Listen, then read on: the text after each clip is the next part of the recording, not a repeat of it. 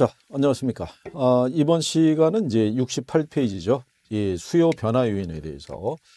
어, 여기서도 이제 시험상에서 활용을 하니까. 예, 근데 여기가 이제 수요 변화 요인이라고 얘기하는 거는 자, 전 시간에 우리가 수요량의 변화하고 수요의 변화를 배웠는데 수요량의 변화는 가격에 의해서만 예, 수요량이 변하는 것을 곡선에서 변화로 우리가 표시를 하는 것이고 수요 변화 요인이라는 것은 가격을 제외한 나머지 변수들이 변했을 때 수요 곡선이 이제 우측 또는 좌측으로 가는 것을 우리가 구별할 수 있으면 되죠. 그래서 수요 변화 요인에서 제일 먼저 이제 이 소득이 변할 수 있다라고 얘기를 하죠. 예. 근데 요 소득이 변할 때 일반적으로 요 소득이 증가할 때 예, 수요가 증가하면 그죠? 그러면 우리가 정상제라고 얘기를 해요. 아, 그런데 이제 요 수요가 감소를 하게 되면 열등제 이렇게 얘기를 하죠. 그리고 이제 수요가 불변인 애들을 예, 우리가 중간제라고 얘기를 해요. 그러니까 말 그대로 정상제하고 열등제를 구별하는 건요. 소득이 변했을 때, 그죠? 소득이 증가할 때 수요가 증가하면은 정상제라고 얘기를 하고요. 소득이 증가했는데 수요가 오히려 감소하면은 열등제 이렇게 얘기를 하는 거죠.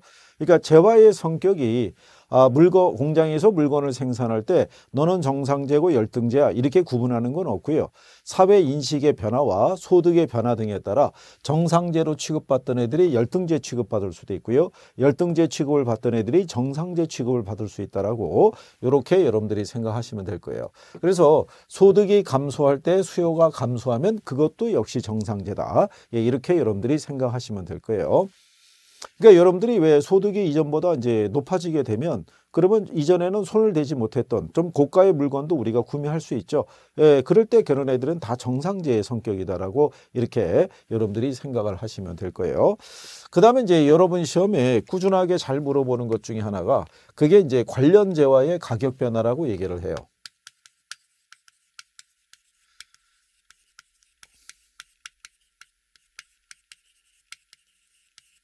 예, 관련 재화 중에서 이제 제일 먼저 나오는 게 뭐냐면 대체제를 얘기를 해요.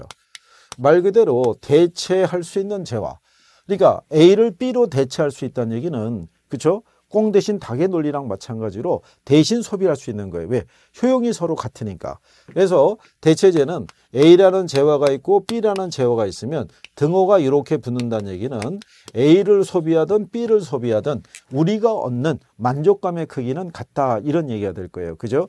예, 콜라를 마시나 사이다를 마시나 탄산음료 마시는 것은 뭐 거의 같다라고 할 수 있잖아요. 그죠? 다만 소비자들은 효용이 비슷한 두 개의 재화가 있으면 상대적으로 가격이 싼 애를 더 많이 소비하는 예, 그런 속성을 갖고 있다라고 생각하시면 될 거예요. 그죠? 근데 시험에서는 콜라 사이다가 안 나오니까 예를 들어서 아파트가 있고요. 그 다음에 여기서 단독 주택이 있다라고 이렇게 가정했을 때 아파트 가격이 이렇게 상승하죠. 예. 가격이 상승하게 되면 아파트 수요량은 감소하게 되겠죠. 수요 법칙에서 반비례니까 대신에 단독주택에 대한 수요가 이렇게 증가하게 되면은 그러면 이때 아파트하고 단독주택은 대체제다라고 이렇게 얘기할 수 있죠. 그러니까 예를 들어서 아파트의 분양가도 천만 원이었고요.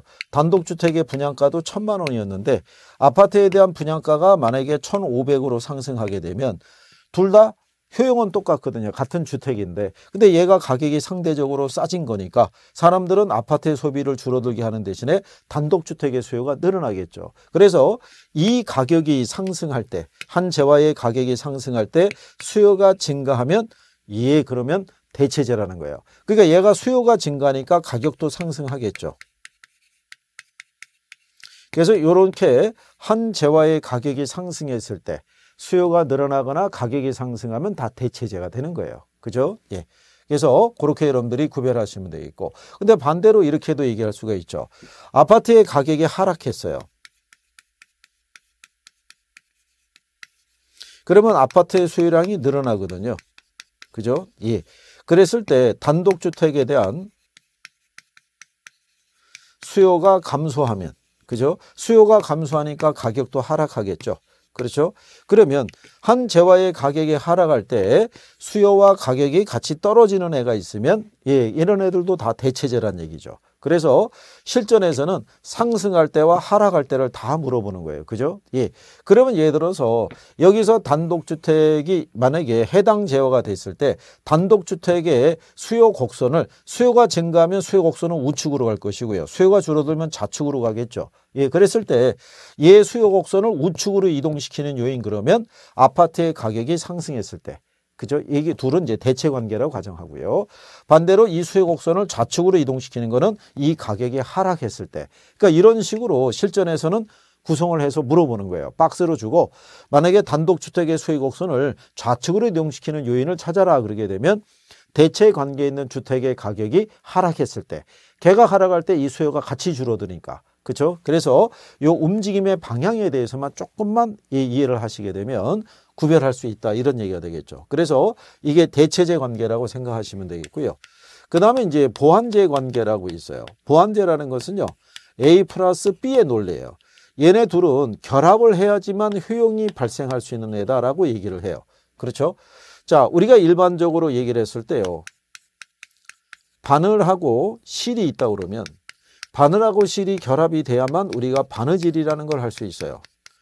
골프채하고 공이 있어야지 골프라는 운동을 할 수가 있겠죠. 근데 만약에 바늘 가격이 상승하게 되면 그죠? 바늘 소유량은 줄어들 것이라고요. 그죠? 그러면 바늘을 소비 안 하는 사람은 실에 대한 수요도 같이 줄어들게 되겠죠. 그렇죠? 예. 그러면 한 재화의 가격이 상승할 때 수요가 오히려 줄어드는 애가 있으면 걔들은 보완제다라고 생각을 하셔야 돼요. 반대로 바늘에 대한 가격이 하락한 거죠. 얘가 가격이 하락하면 얘 수요량이 늘어나겠죠. 그럴 때 바늘 수요가 늘면은 실의 수요도 늘어나죠. 이렇게. 그러면 한 재화의 가격이 하락할 때 수요가 증가하고 가격이 상승하면 걔네는 보완제 관계가 되는 거예요. 그래서 대체제하고 보완제 관계는 반드시 구별을 할 수 있으셔야 된다는 얘기죠. 예, 그래서 그 내용에 대해서 구별을 해주시면 되겠고요. 그래서 수요가 증가하면 수요 곡선은 우측으로, 감소하면 좌측으로 이동한다는 것을 같이 여러분들이 예, 구별을 할수 있으시면 될 거예요. 그래서 거기 69페이지 상단에 가면 대체제 가격의 변화, 보완제 가격의 변화에 대해서 우리가 다시 한번 구별을 해드렸으니까 문장의 뜻을 잘 확인을 해보시면 될 거예요. 그 다음에 이제 세 번째로 나오는 게 뭐냐면 가격 변화에 대한 예상이에요.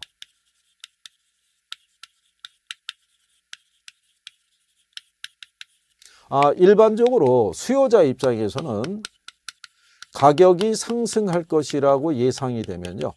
예, 오히려 수요가 증가하죠. 더 오르기 전에 사야 된다는 심리가 커지는 거죠. 그러니까 부동산 시장에서도 아, 부동산 시세가 계속 올라갈 조짐을 보이면 소비자들은 융자를 받아서라도 예, 그 재화를 바로 소비하려고 하겠죠. 근데 반대로 가격이 하락할 거라고 예상이 되잖아요. 그러면 오히려 수요는 감소하겠죠.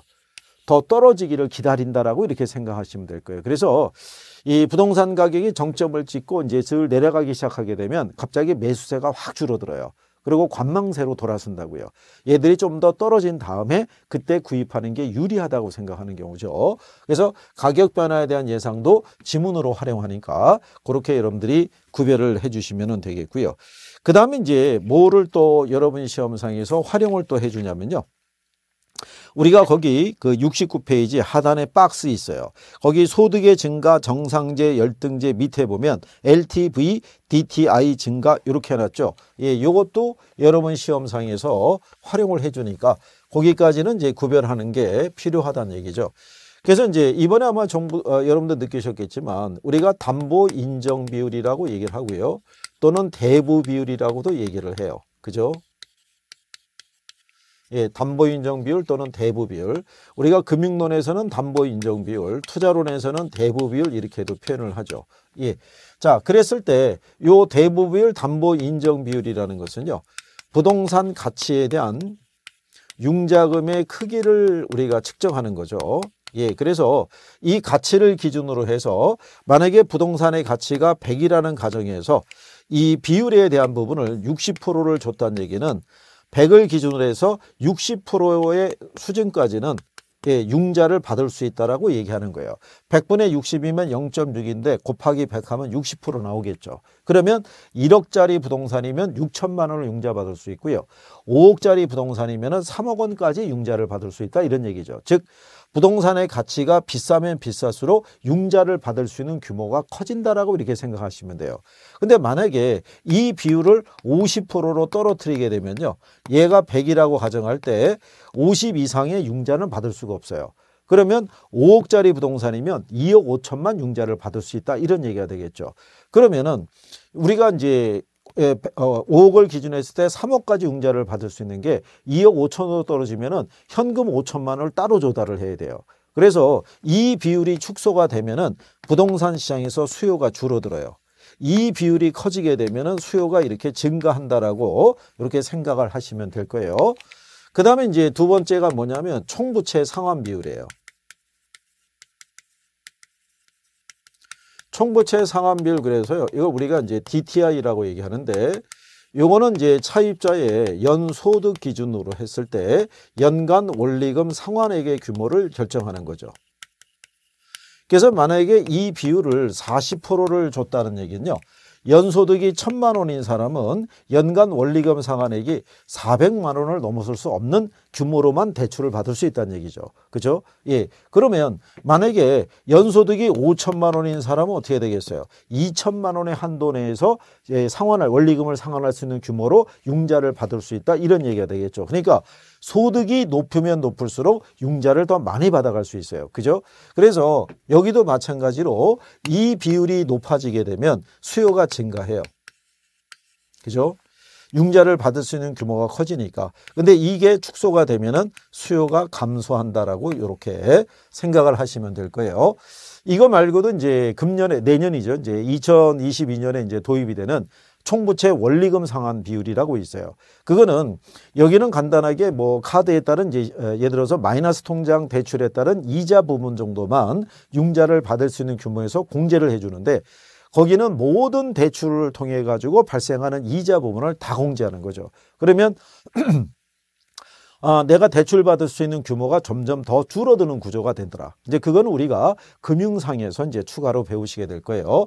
그래서 이제 이게 수요가 증가하느냐 감소하느냐를 물어봤을 때 담보 인정 비율과 총부채 상환 비율을 가끔씩 활용을 하니까 용어 정도는 구별하는 것이 필요할 수 있다 이런 얘기죠. 예, 그래서 요 정도까지는 예, 정리가 되셔야 되더라. 자, 그다음에 이제 예, 70페이지로 넘어가시게 되면은 예, 거기 문제로 확인하기라고 이제 문제가 하나 있죠. 부동산 시장에서 수요를 감소시키는 요인을 모두 고른 것은 예, 시장 금리가 하락하죠. 예, 그러면은 당연히 어, 융자를 받았을 때 내가 갚아 나가는 이자 부담이 줄어드니까 수요가 증가하게 되겠죠. 그 다음에 니은을 아, 인, 니은에 보면 인구가 감소하게 되면 수요가 줄어들겠죠. 그 다음에 수요자의 실질 소득 증가는 예, 수요가 늘어나는 요인이고요. 가격 상승을 기대하게 되면 수요가 오히려 증가한다고 그랬어요. 그래서 거래세율을 인상하게 되면 세금의 부담이 커지니까 수요가 줄어들게 되겠죠. 예, 그래서 이렇게 해서 박스로 나왔을 때 문제를 풀어가는 요건 중에 하나는 뭐냐면요. 거기 문제에서 첫 번째 기억이 시장 금리가 하락하는 것은 수요가 증가하는 요인이에요. 근데 문제가 물어본 것은 수요를 감소시키는 요인을 물어봤죠. 그럼 얘는 해당이 안 되겠죠. 그러면 지문 안에서 기억이 들어간 애들은 다 빼야 돼요. 그러면 1번하고 2번하고 5번은 답이 될 수가 없어요. 그러면 남는 게 3번하고 4번만 남게 돼요. 근데 3번과 4번의 공통점은 니은은 다 들어가 있죠. 그럼 둘의 차이가 디귿이란 얘기죠. 디귿을 봐서 디귿이 수요가 증가하면 얘가 틀리고 3번이 답이 될 것이고 디귿이 수요가 감소하는 요인이면 얘가 답이 되겠죠. 그러니까 이렇게 기역, 리은, 디귿, 리을로 주어졌을 때는 기역, 리은, 디귿, 리을, 미음까지 다 풀어보는 게 아니라 기역을 먼저 풀고 밑에서 지문을 지워줘야 돼요. 그러면 번호가 압축이 된다고요. 그러면 문제에서 답을 푸는 속도가 좀 더 빨라질 수 있다는 얘기죠. 그럼으로써 답은 3번이 되겠다 이런 얘기죠. 예, 그래서 그런 요령을 갖고 문제를 풀 때도 요령이 필요하다는 것을 예, 여러분들이 예, 구별할 수 있으셔야 되겠죠. 그 다음에 이제 부동산 수요의 특징이라고 이렇게 나왔는데요. 여기는 뭐 그냥 간단하게 정리를 하셔도 될 거예요. 음.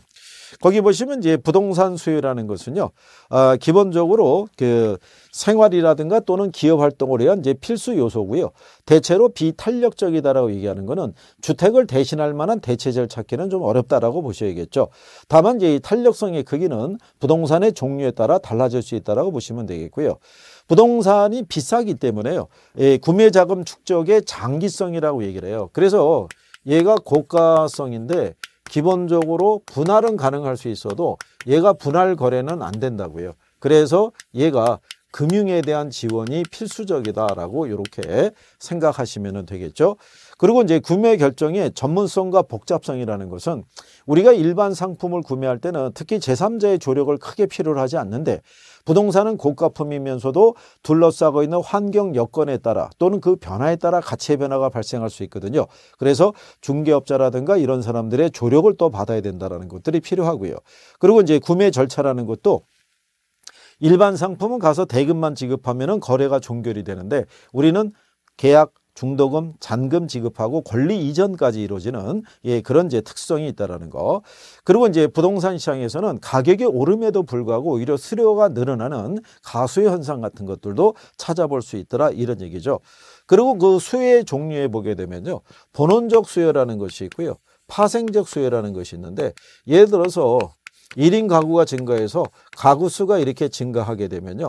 더 많은 주택을 필요로 하게 되겠죠. 그죠? 예. 그러면 요 주택을 지으려고 그러면 토지가 필요하겠죠. 그래서 요 토지 수요는 이 본원적 수에서 파생이 됐다 그래서 파생적 수요다라고 얘기를 해줘요. 예, 그래서 그런 정도만 예, 알아두시면 되겠고요.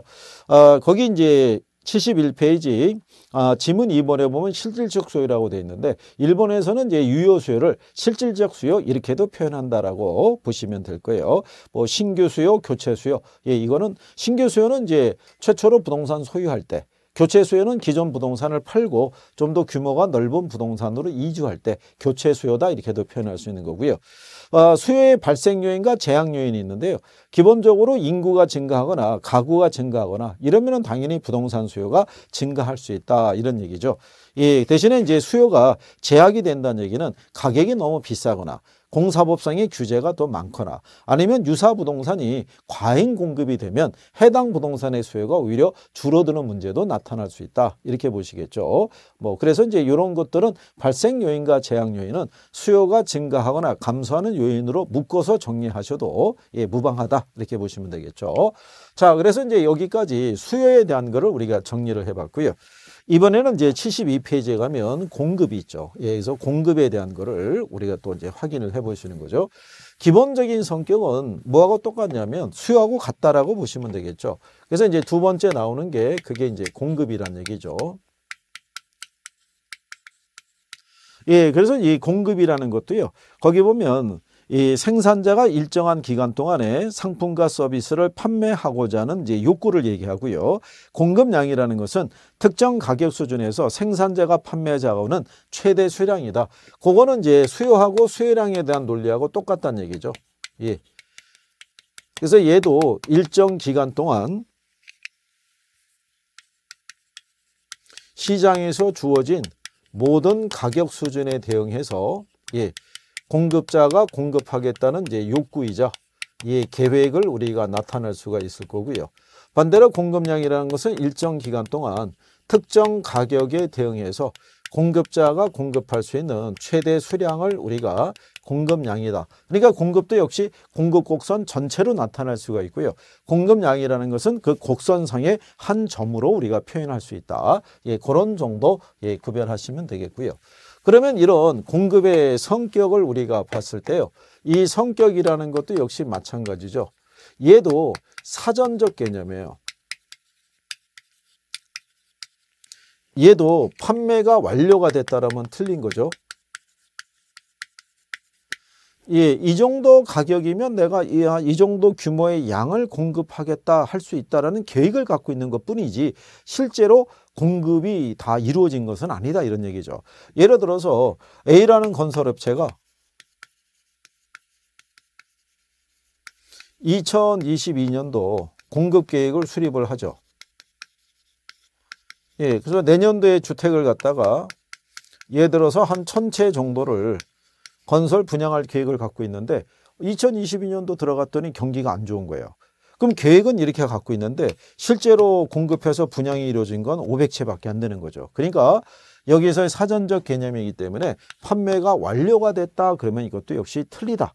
수요량에서도 우리가 수요가 완료가 됐다, 구매가 완료가 됐다면 틀리다고 그랬죠. 마찬가지인 거죠. 사전적 개념이고요. 그 다음에 이것도 유효 공급이라고 생각하시면 돼요.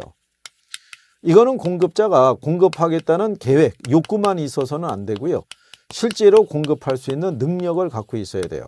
여기 A라는 건설업체가 내년도 공급 계획이 천채를 공급했다는 얘기는 아, A라는 건설업체는 2021년도에 주택을 갖다가 한 800채 정도를 공급한 실적이 있다는 얘기죠. 그러니까 공급한 실적이 있고 공급할 수 있는 능력이 있으니까 내년도의 계획을 이렇게 짤 수 있다. 이렇게 여러분들이 정리하시면 되겠고요. 얘도 이제 무슨 개념이냐면 유량 개념이라고 보시면 돼요. 그죠? 여기도.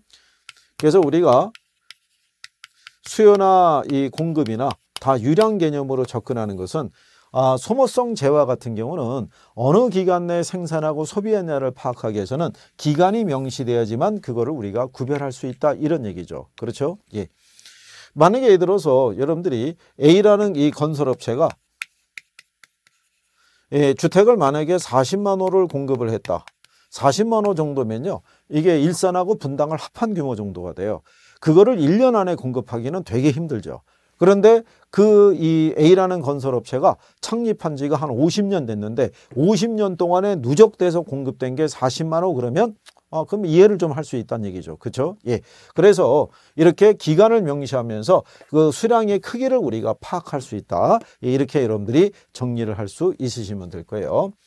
그래서 나중에 이제 유량과 저량에 대한 거를 얘기할 때는요. 만약에 신규 주택 공급량이라는 게 있고요. 재고 주택의 양이 있다라고 가정했을 때, 그죠? 가령 예를 들어서 현재 서울시 주택이 몇 채가 있을까?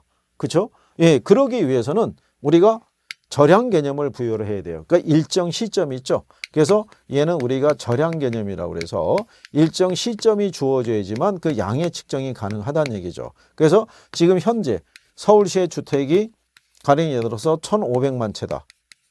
그러면 이 1,500만 채라는 건 과거로부터 누적되어 온 양이죠. 그렇죠? 그런데 이 1,500만 채 중에서 올해 신축해서 들어온 양이 몇 차가 될까? 그러면 여기 이 안에서 우리가 추출해내야 되잖아요. 그러기 위해서는 뭐가 명시가 되냐면 기간이 명시가 돼야 되죠.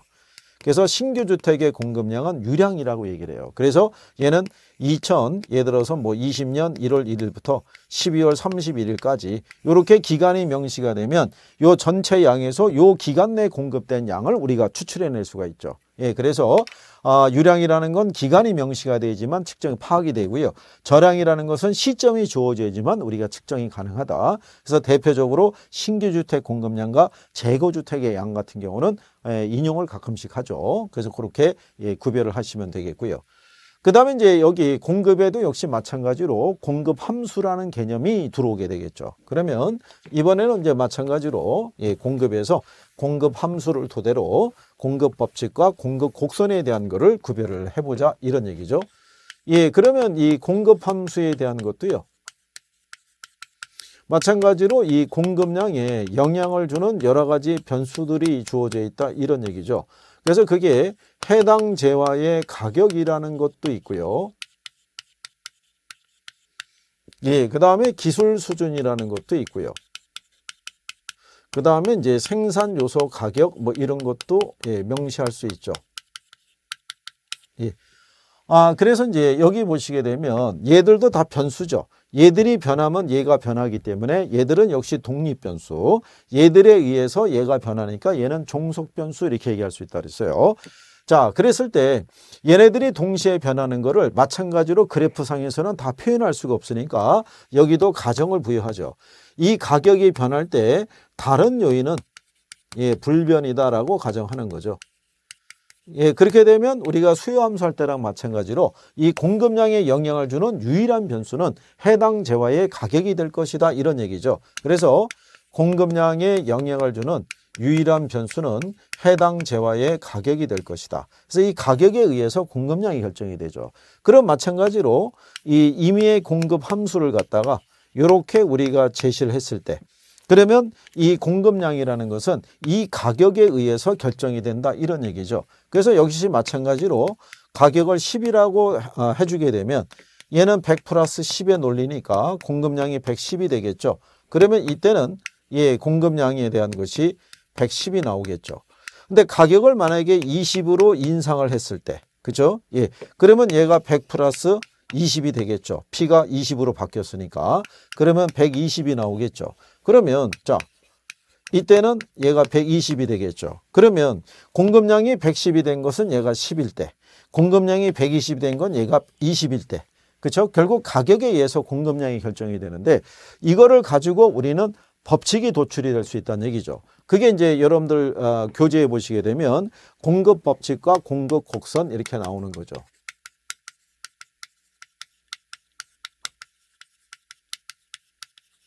그래서 이 공급 법칙이라는 것도 기본적으로 정리를 하셔야 되는 게 다른 요인이 불변일 때 가격과 공급량이 서로 비례 관계라는 거.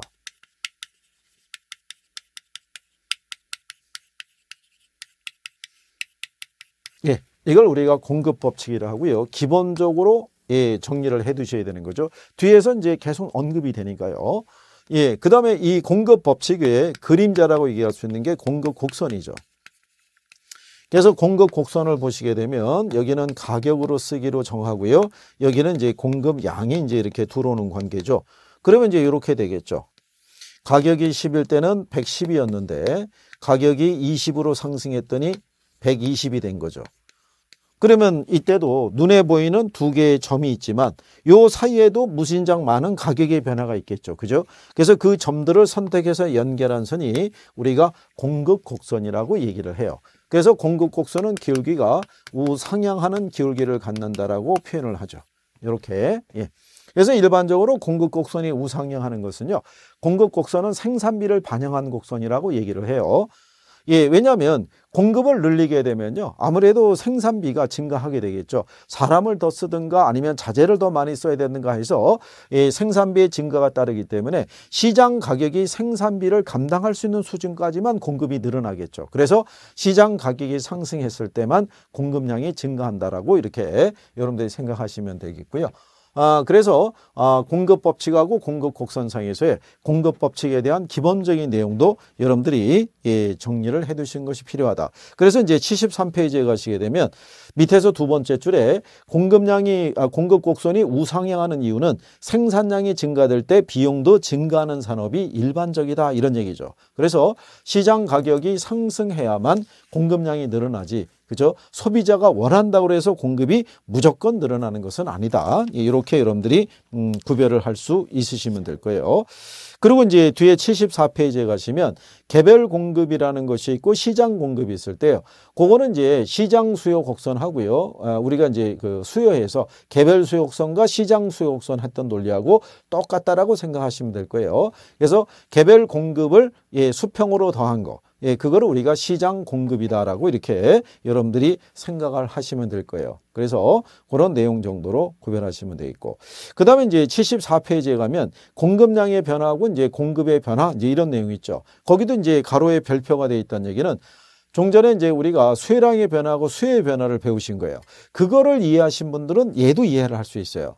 근데 그게 이해가 조금 떨어지게 되면 이게 과연 또 무슨 말인지 그래갖고 여기가 정리가 안 될 수도 있는 거죠. 그래서 연계해서 정리하는 것이 필요하겠죠. 예, 그래서 여기까지 이제 우리가 공급에 관한 이제 기본적인 내용에 대한 것을 정리를 해드렸고요.